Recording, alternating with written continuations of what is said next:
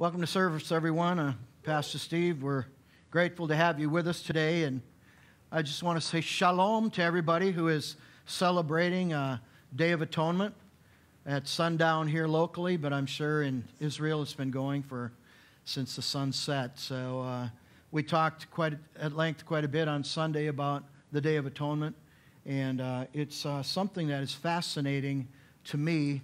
And I won't talk about it tonight, but um, I encourage anyone to, uh, you know, reach out and to find out as much as you can about it because it's a wonderful subject that uh, is absolutely, it's Old Testament, of course, but Jesus fulfilled it when he went into, hi, hello, hey, Ruff, come on. All right. We got, we got Holy Spirit filled dogs in the house tonight. Amen. All right. Praise God. All right. So tonight, um, just finishing that thought about um, Jesus Christ went into the heavenly holy of holies with his own blood once for all time.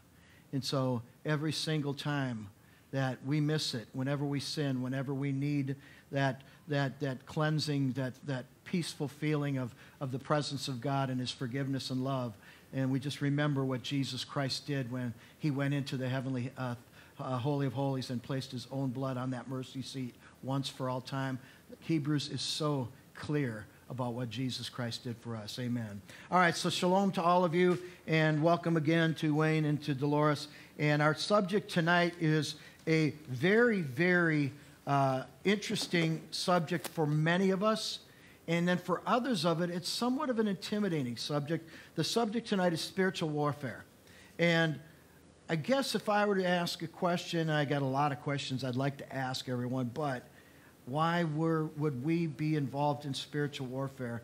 Because we are spirits. God made us, we are spirit, soul, and body. And because of that, we live in a natural world, but we also live in a spiritual world. Just as much as the natural, the spiritual realm is real. And so we want to talk about some of the things that are on our sheet tonight that are uh, conducive to development spiritually in your life. And, and I believe that uh, as you learn these things, if you will step out and not be afraid of the, the, the, the term spiritual warfare, and you'll listen and you'll receive it. I mean, obviously, most of you are familiar with it, but there are many of you that are not familiar with it or you've re- rejected this idea from Scripture. And so we're going to talk about it as, as plainly as possible tonight. And uh, my two friends, my, my, sister and my brother, they have uh, opinions and they have perspectives that we want to hear. So, uh, Father, we thank you for the subject of spiritual warfare.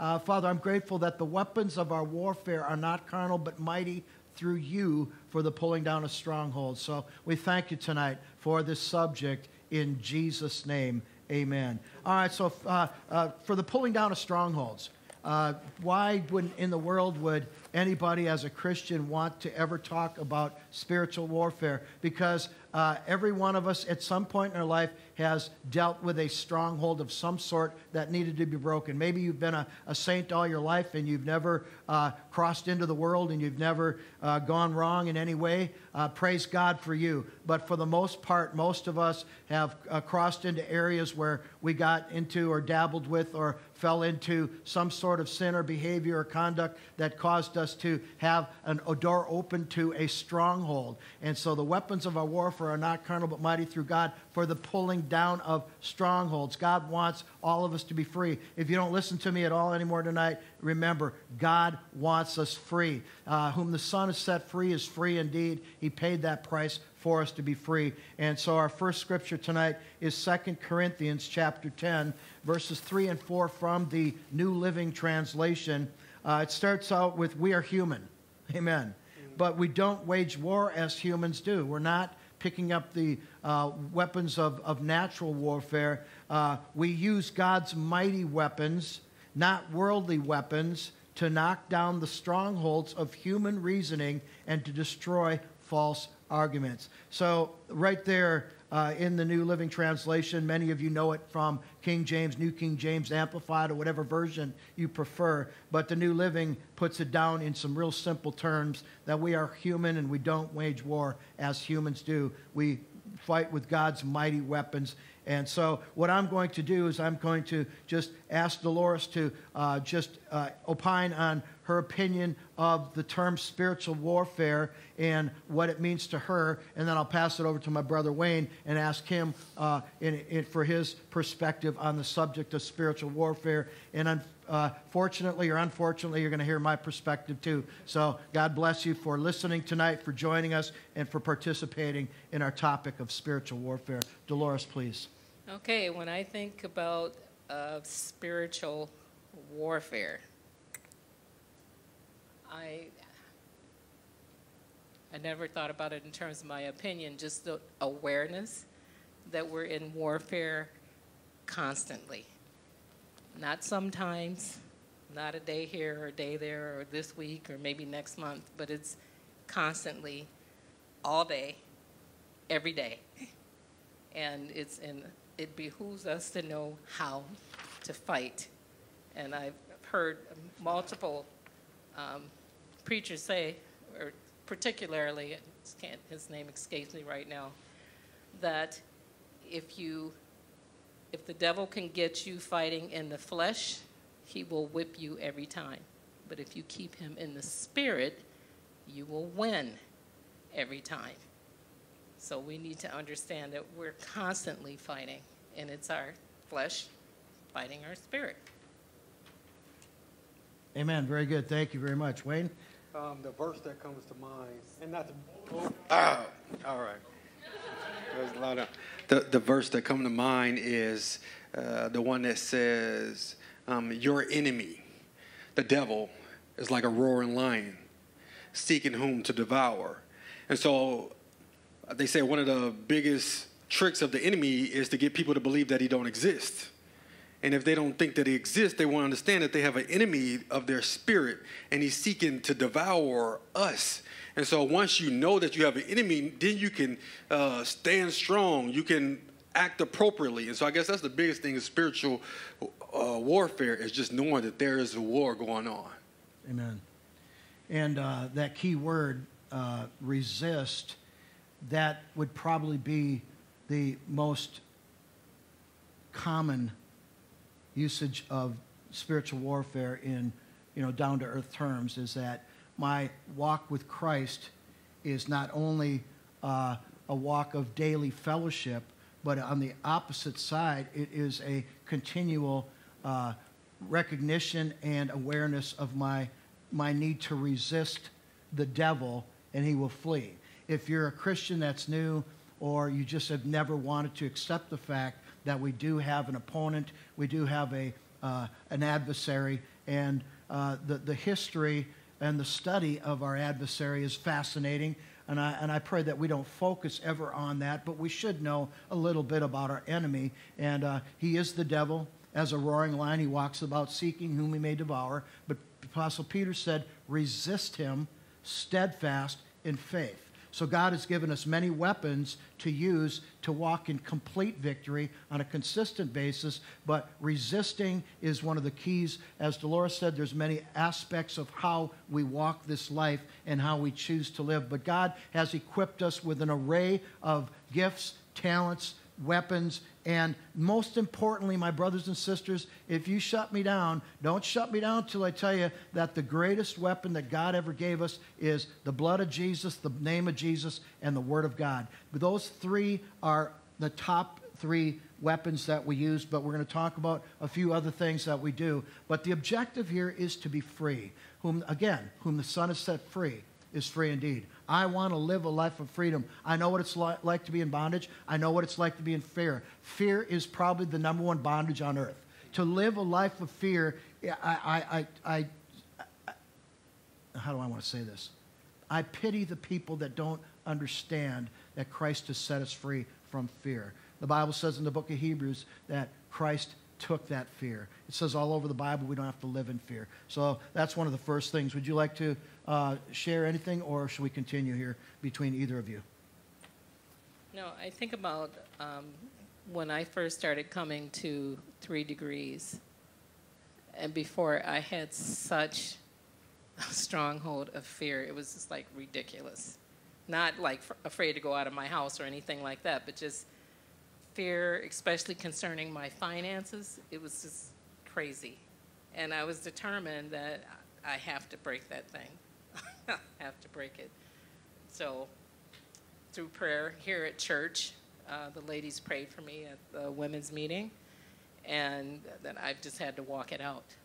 But, yeah, it's pretty intense. Ladies and gentlemen, if you heard her say she had to walk it out, there is no hop, skip, and a jump over real issues. And the fastest way to defeat fear is to face fear. And all of us had to, you know, I just want to put it in a perspective that someone might be able to relate to. I remember that when Jesus took me by the hand, and this is in my in my my my spiritual uh, uh, vision of Jesus, took me by the hand, and he walked me to the mountain of fear, and he pointed to the mountain and he said, "Speak to the mountain, and command it to be removed, and move out of your way." And it was fear. And when I began to speak to that mountain of fear, according to what I believe the Lord said to do, that mountain began to break, that mountain began to move, and pretty soon fear was no longer dominating my life. And, and the greatest part about it was that the Lord was there. He took me by the hand and led me to defeat the fear in my life. And so I encourage anyone you're not on your own. This is not a weapon that you have to take on by yourself. Of course, you're not going to share the depths of your fear with too many people if you're, if you're, if you're really deeply in fear, maybe as Delores had said. But uh, God is the one that will bring you, the Holy Spirit will bring you to that place when you're ready to face your fear and to say, Be removed in my life in Jesus' name. I just like the fact uh, with your, your testimony that, you know, you, you have trusted people that you can tell. And, and, I, and one another reason why, you know, we advocate for attending church. Because um, fear or things like that can grip you to the point that you just stay at home and you keep it to, this, to yourself. And a lot of times that's where the devil has that win or continue to torture you. But if you come to another believer who who may not necessarily this this is one of their strong areas, right? We all got areas that we strong or weak in, maybe. Um, that we're struggling with. But if you can come to another believer and they stand with me and they can pray for you in faith, that can be the thing that help breaks the uh, the, the attack of the enemy on our life. And so, understanding the necessity for having brothers and sisters of the Lord that we can bring our things to. Amen. That's awesome. That's awesome. All right, so let's go down this list. Um, it says prideful arrogance, human reason, and lying spirits are all from the same source and they are the ones that lie to you and make you afraid. Uh, Jesus said that the devil is a liar. Christians, you need to say that. When he comes to you with those tormenting thoughts, maybe as he uh, tormented Delores uh, with thoughts of insufficiency or lack or whatever it is, the lying spirit, and, and Lord said, remind him that the devil is a liar. Uh, as Brother, uh, one, of the, one of the radio ministers used to say, uh, the devil is defeated, God is exalted, and Jesus is Lord. Well, if you just remember those three things and say that the devil is defeated, uh, God is exalted, and Jesus is Lord, that will propel you to step higher in your faith. Christians, none of these things can happen without faith. You're going to have to believe something. And right now, if you're in fear, you're believing lies from the enemy.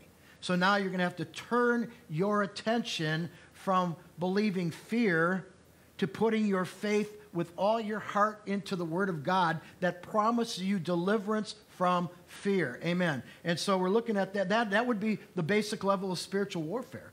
As we talk about spiritual warfare here, uh, we go on to the next line where it says, uh, uh, we need to learn how to resist the enemy. Christians, when we talk about spiritual warfare, it isn't some uh, way out uh, uh, get up on a mountain and uh, beat a drum and do some uh, really crazy stuff. No, spiritual warfare is every day resisting the enemy in your life. If you just left tonight with only the idea that resisting the enemy is spiritual warfare, you'd be on the right track. But there's so much depth to this. And why, was, why is there so much depth, depth to this subject? Because there are so many people in so many different kinds of bondages and fears that need to know how to break free. And uh, again, whom the Son has set free is free indeed. It's the most, possibly the most important thing in your Christian life because you can't enjoy your Christianity if you're afraid, if you're nervous, if you're upset, if you're in bondage to anything in life. Amen. All right, so we need to learn how to resist the enemy not fall prey to his lies by using the mighty weapons God has given us to enforce the victory we have in Jesus. There are many different avenues of spiritual warfare, but then I added on my own sheet fighting, resisting, winning, enforcing the enemy's defeat. Enforcing the enemy's defeat, which is not for you to fight, but for you to enforce the victory through your faith. And the way you enforce the victory is you simply agree with what Jesus did. Jesus, you fought, you won the battle, you gave it all to me. I, the, uh, I will not be defeated, and I will not fret. Redeemed by the blood of Jesus, I've been loosed from Satan's grip. Okay, I could go on and sing for you, but I won't. It's a great song about being free. Hallelujah. And that's what it's all about. So that is the objective of this whole message about spiritual warfare is to be free in your life from anything that you're in bondage to or you're tempted in or whatever areas afraid or whatever areas it is. So anything from you guys before we proceed? All right, so going forward, uh, spiritual warfare and our weapons include but are not limited to praise. That's one of the simplest things we can do to fight. Anytime that fear comes on me, I just turn my attention to the Lord and say, Praise you, Lord, praise you, Jesus. Now, you know what? God, girls are, are easy to say, Praise the Lord, thank you, Jesus. But, but you know, sometimes guys need a kick in the pants uh, to, to spur them on to just step past that line. And, you know, I pick on guys all the time. And I'll continue to pick on guys all the time because I know that when the men that uh, came into my life, that God brought into my life, they didn't cut me slack. They were tough. And you know, what? really, they, they reminded me of military men, and they were in the military. And in the military, they don't cut you any slack. So if this is spiritual warfare and the same uh, uh, things apply to uh, as natural warfare, is there must be an aspect of discipline. There must be an aspect of diligence. There must be an aspect of doing and following orders. And sometimes you just need to simply go, Lord, these are orders from headquarters, and I'm going to do it. I'm not going to think about it. I'm just going to obey your direction and your command. And praise God, it works. It works. It works. It works. God is good all the time. And so, some of these weapons that we have, but are not limited to praise, to praise the Lord. And if you, and I'd rather have Wayne or Delores for you to listen to them because you think that my job as the pastor is to be full of praise. So, what I'd rather have you do is to be around other spirit filled Christians. Now, spirit filled Christians are freer than general Christians to just blow out a praise the Lord, blow out a thank you, Jesus, blow out a glory to God, glory to God, uh, blow out a hallelujah. It just, you get freer when you're baptized in the Holy Spirit. And so I highly recommend every person is baptized in the Holy Spirit because you get free. I want to be free. Whom the Son has set free is free indeed. And that is another weapon and tool to help you to cross over that line of stepping out in faith. And, and, and here's, the, here's the question about uh, being ashamed of saying hallelujah or praise the Lord or thank you, Jesus, in front of somebody else. So what? So what? It's your faith, it's your Lord, it's your Savior, it's your Christianity. And if I want to blow out a thank you, Lord, if I want to blow out a hallelujah, if I want to blow out a glory to God, I'm going to do it. And I'm not going to care what people think because you know what? They might be full of fear, and the things you say might help them to step out of that fear. I see Delores is ready to share. Go ahead, my friend. No, I was just thinking about a, a song that I learned some years ago about praise. There's only two times to praise the Lord when you feel like it and when you don't. Absolutely. Praise his what did what did the psalmist say? His praise shall continually be coming out of my mouth. Why? Who is David? Who is the psalmist? What is it with him? He's special, dude. He's special. Sorry for calling y'all dudes. There's some girls in here, but girls in the audience too. Welcome everybody. But David is special. He was unashamed to worship, to praise, and to lift up the hallelujah in Jesus' name. Wayne, you have anything? Yeah, I guess two things. Yeah, definitely it's great to have David, um, an example of, of a man. Because um, especially the Bible says David was a man after God's own heart. And so when you look at him and look at his attitudes and the way how he was free and he was praising to the point that it was ridiculous even to his wife, like, you a king. Kings don't act that way, right? And even the world tells us about men, we don't act that way out there singing and acting a fool. You, you don't do that. There's a certain type of dignity that you have to have about you. But when you see men of the kingdom acting differently, then we can mimic that. So, so understanding that we have to overcome that roadblock. But, but also going, probably going along with that is just that when you think about warfare, singing doesn't seem like it goes along with that right?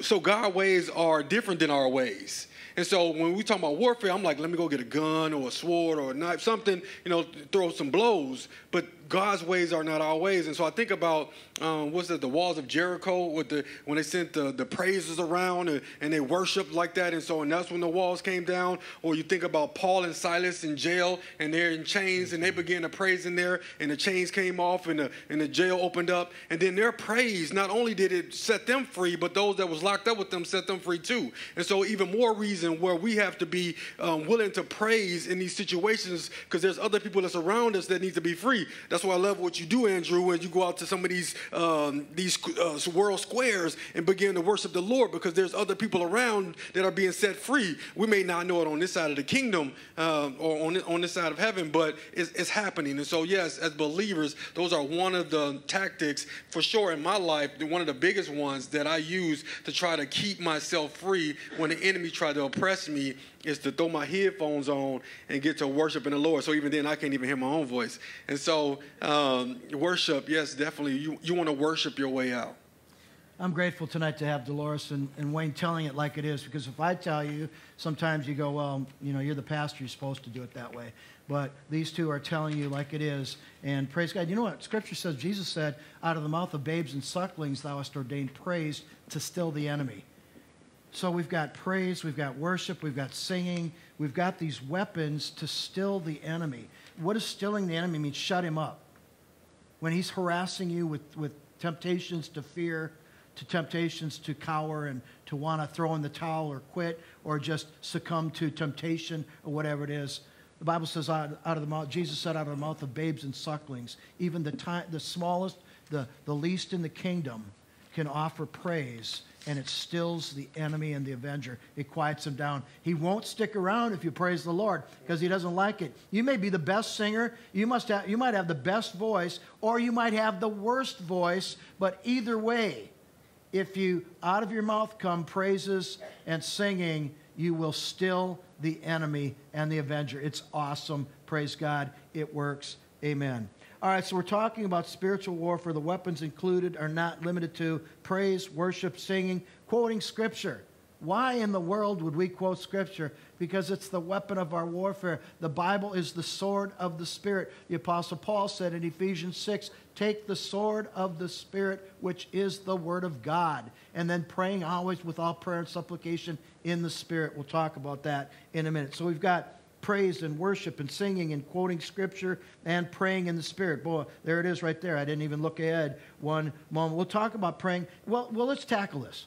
Let's just touch this right now. Let me, let me ask you something. We're a charismatic church. Charismatic, we're a uh, uh, word, of, uh, word of faith or a uh, whatever you want to call us. We believe in the baptism of the Holy Spirit. We believe in, in speaking in other tongues. And so the question would arise do I have to pray in other tongues to engage in spiritual warfare? No, of course not. But why wouldn't you? If if Paul said in 14:2 of Corinthians, "He that speaks in an unknown tongue speaks not to men, but to God, and in the spirit he's speaking mysteries," why would not why would I not want to participate in that where basically he's given me a free pass to just present the whole thing right up there where the enemy can't understand it. It's a weapon of our warfare, and it's not carnal, and it's mighty through God for the pulling down of strongholds. And so we use all of our weapons, and so being uh, able to pray in the Spirit, to pray in other tongues, is in a powerful, powerful way to get yourself free, to, to get out of fear, and to get out of bondage. We believe it, we do it, and we're grateful for the gift in Jesus' name. Do you pray in the Spirit? Do you pray in the Spirit? Well, we got a consensus here, and if we're right, then guess who's wrong? No, just kidding. No, no, no. We're not putting that out there. Come on. All right. Can, can I add to that? Because when I first came to church, speaking in tongues was a weird thing to me. Um, it's weird to all of us. right?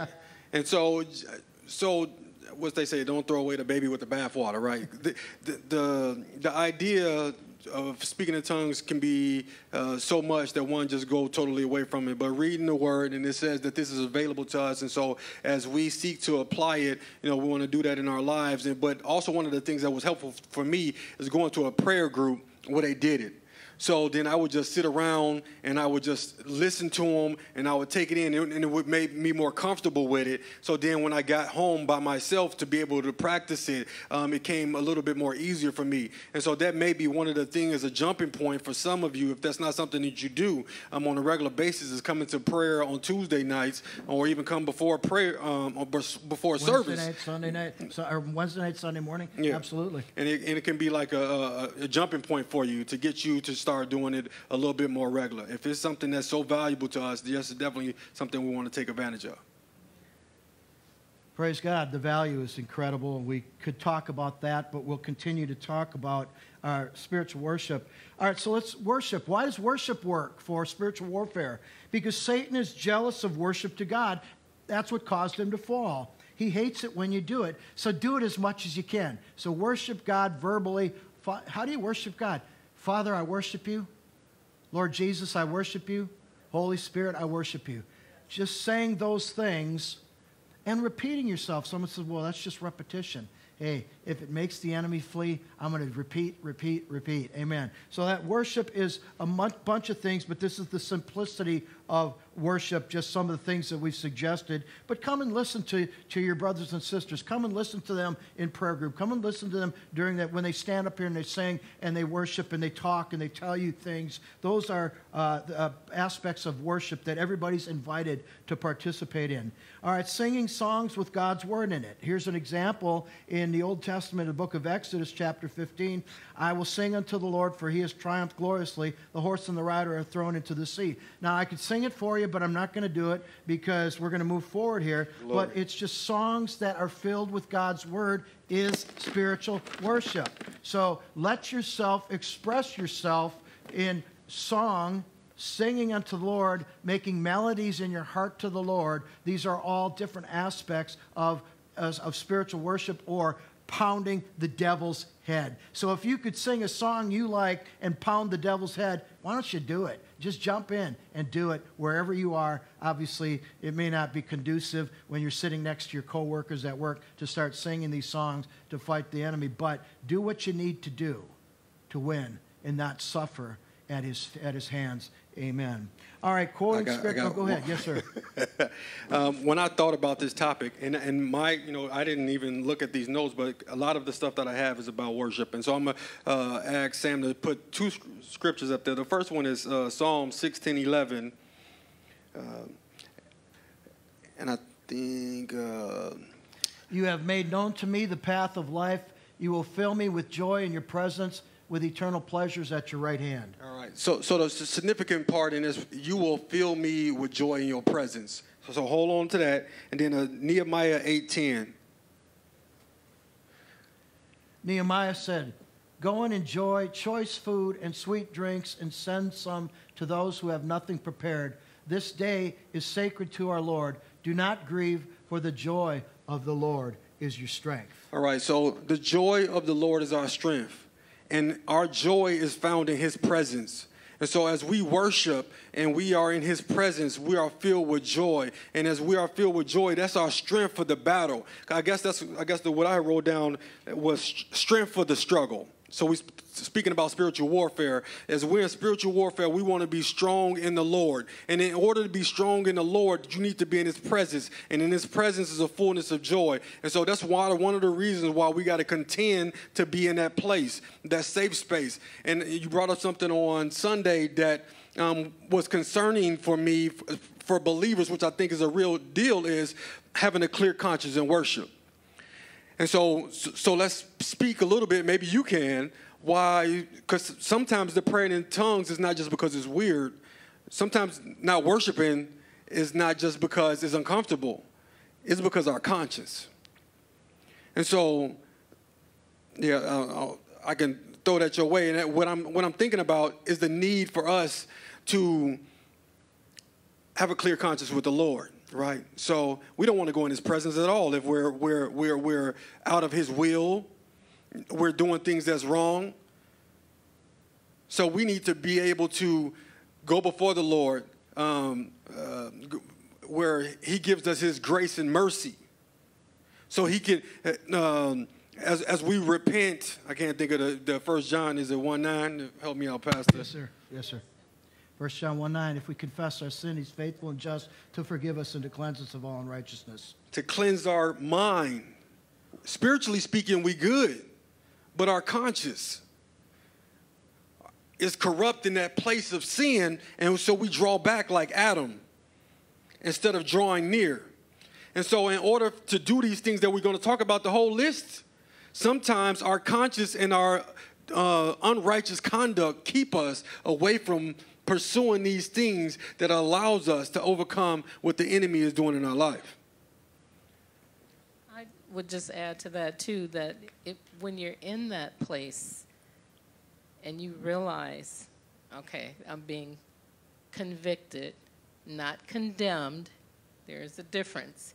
Convicted that what I've said, what I've done, what, whatever it is, that this is grieving God. Thank Him for showing you instead of running away. I know as, as a young Christian, somehow in my mind I thought, oh, since I'm saved, I should be perfect. And so when God would convict me of things, I would want to run. I was like, forget it, I'm not ever going to get this right. so you run.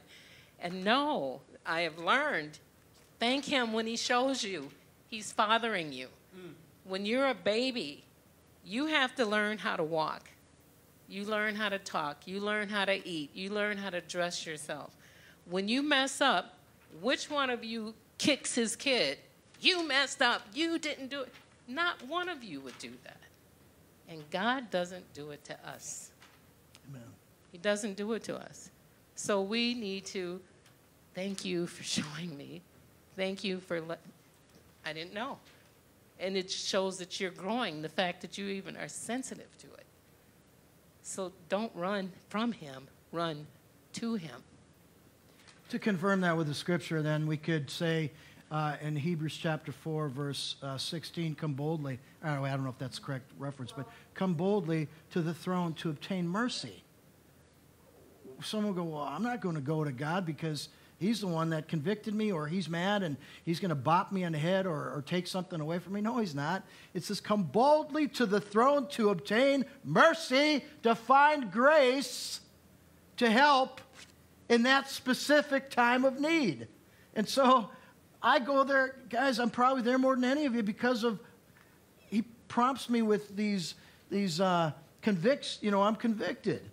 And so where do you go when you're convicted? Do you run and hide and go back to the world and say, oh, chunk this, I can't take this anymore, I'm running away and going back? No, you run bold, you run to, run to God, as you said, and you come boldly to the throne to obtain mercy, to find grace to help in time of need. And you get it every time, every single time. And so we encourage you not to run from God. Did you say it or did you say it? Run from God, run, from God to run to God. Amen. All right. So, all right, cool. Let's uh, let's pick up the pace here as we. Um, all right, quoting scripture is obvious. It's the sword of the spirit. You got to put some faith in it tonight. Say, tonight I'm putting faith in quoting scripture as the sword of the Spirit because I've got to start somewhere. And so I'm going to take some of these verses that, that are so obvious to me and I'm going to use them and I'm going to swing that sword in the Spirit and I'm going to trust God that it is what He says it is and that it is the sword of the Spirit. All right, declarations or faith filled confessions formed from God's word are powerful weapons. We talk about confession all the time. Declaring, uh, when you got saved, the Bible says that you believed in your heart and, uh, and confession was made with your mouth. Well, that's the same thing the way you do everything. Victory comes through believing in your heart that you're victorious and confessing with your mouth that you have the victory. They go hand in hand. You're going to have to speak, you're going to have to talk, you're going to have to say it because that is spiritual warfare, opening your mouth and declaring it.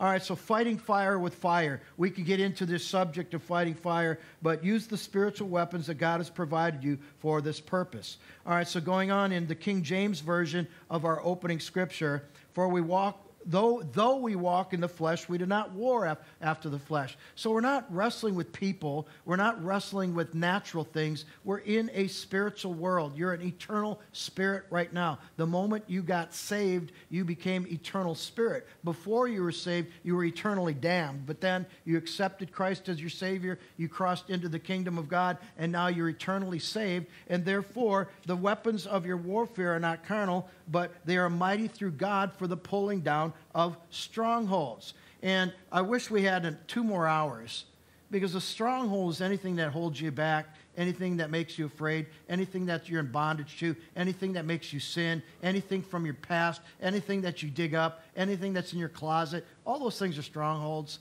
You know, if you get it, you know, some people say, well, strongholds are these really, really deep, deep ingrained sins in your life. Yeah, they can be.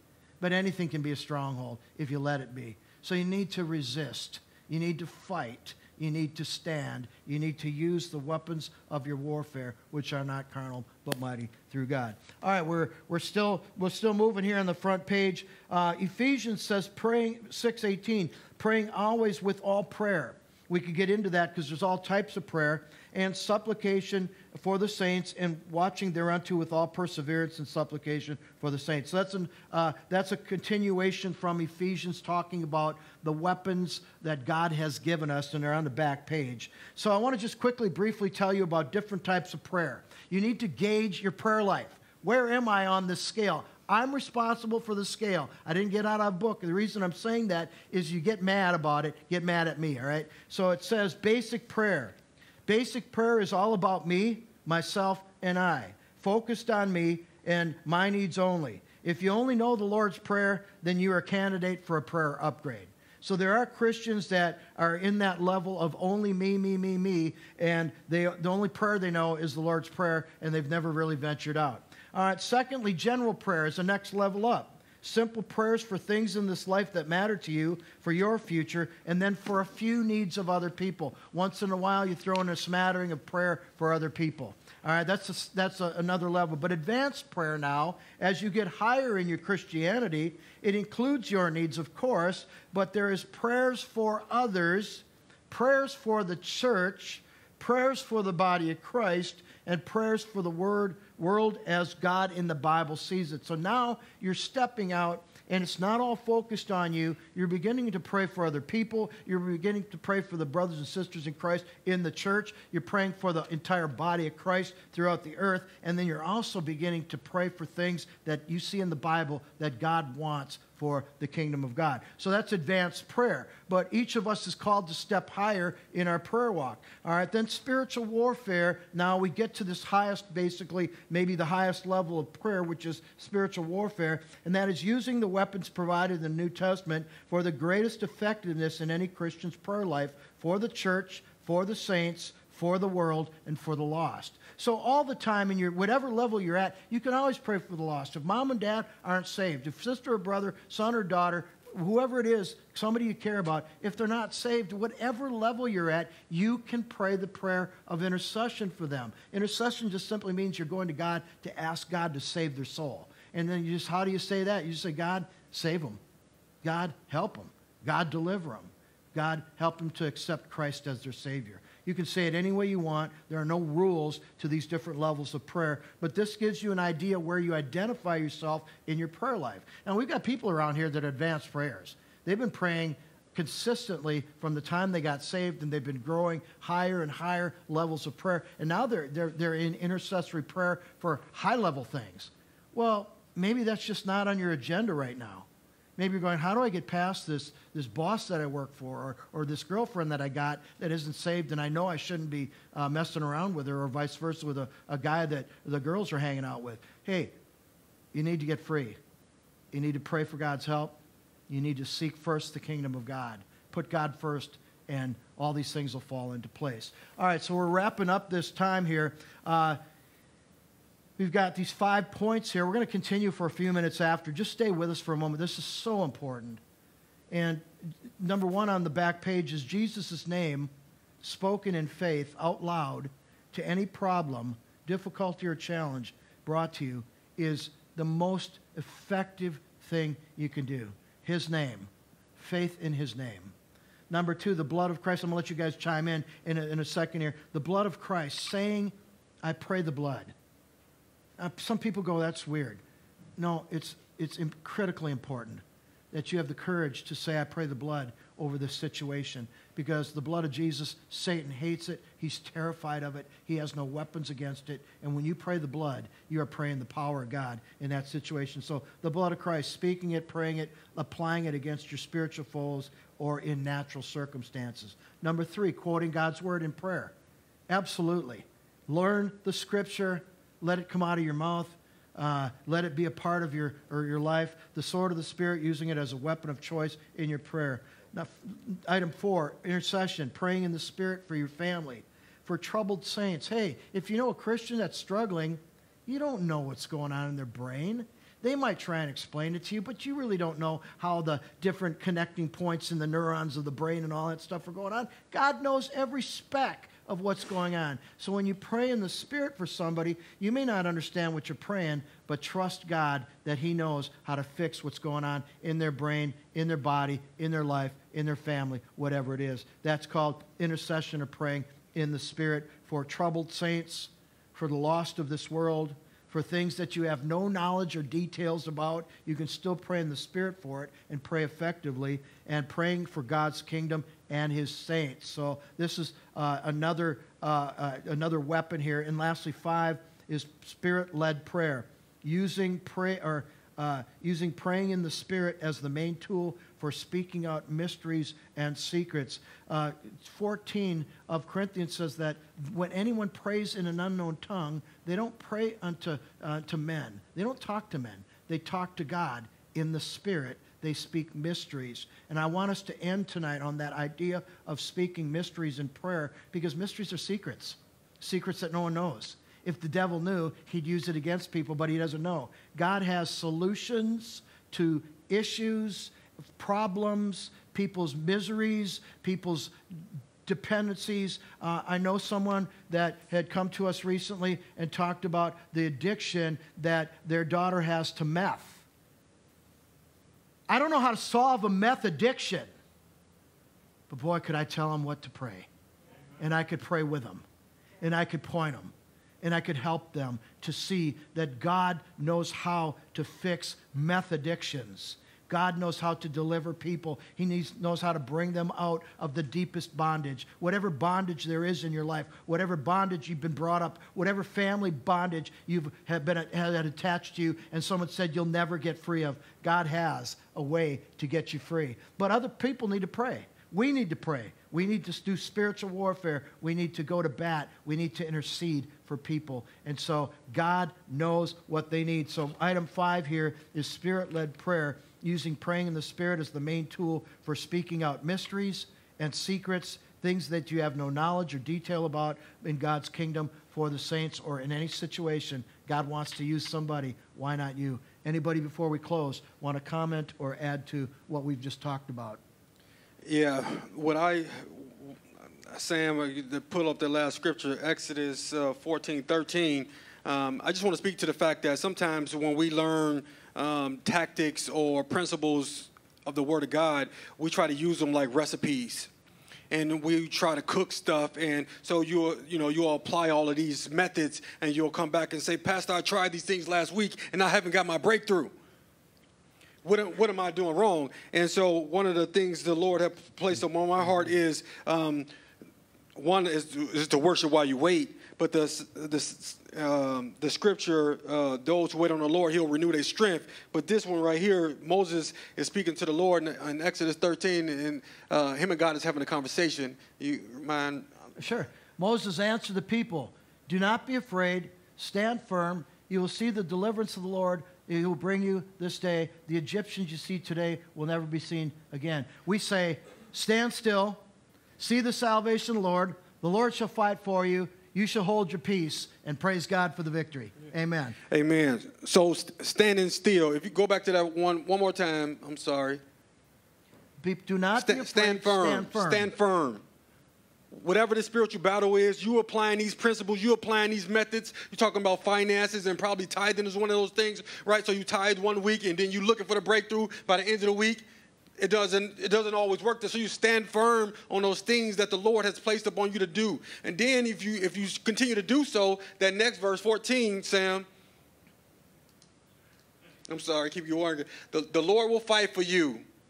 You only need to be still you need to continue to do what you've been told to do. Do what you know to do, and you will have the salvation that you're looking for. This is not a microwave thing that you can put together and cook up some stuff and then you make God. You said, no, there's some time elements to this and allow God to do it. But if you stand firm, you will win. Excellent. I would say the other thing to remember, I think about David facing Goliath.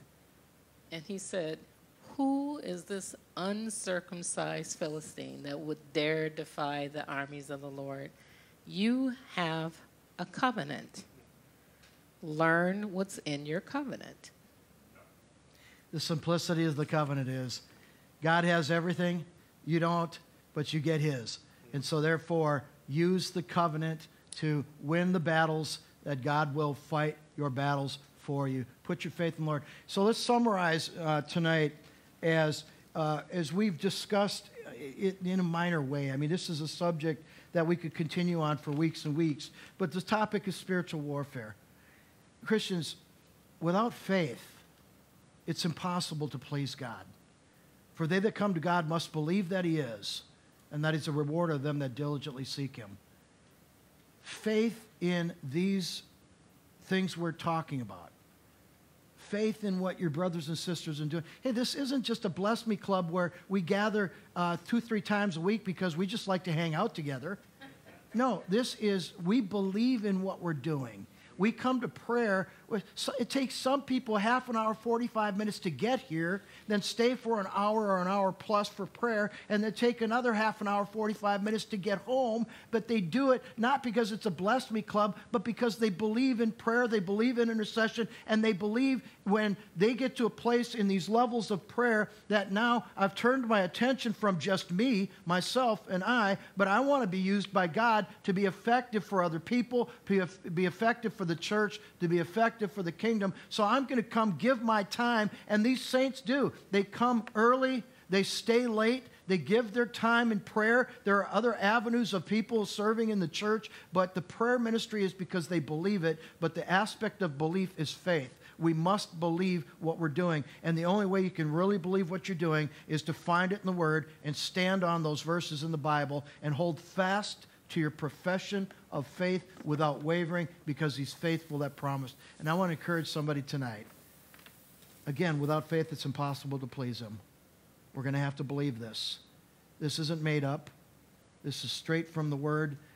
He could talk to you for another hour. She could talk to you for an hour. I could talk to you for another hour. We could go on and on about this subject. But somewhere along the line, you're going to have to dip your toe in and say, I believe what they're telling me, and I believe I need to participate. How do I start? And then you just turn it over to the Lord and you look for Him to show you, lead you, and guide you into an opening into a life of prayer involving spiritual warfare. Can someone say amen tonight? Amen. Amen. All right. Uh, we'll take, we, we're going to close in a minute or two, but can we take one question tonight about intercessory prayer spiritual warfare, any of these things. Uh, my brother back there, you seem to have, be participating very much. In, do you have a question tonight? Maybe you're a guest tonight, so we'll go to you. Any, any question about what we're saying? You don't have to. I don't want to put you on the spot. It look like you do. Or comment? I don't know. Tell us your name. Uh, Michael. Michael, th- great name.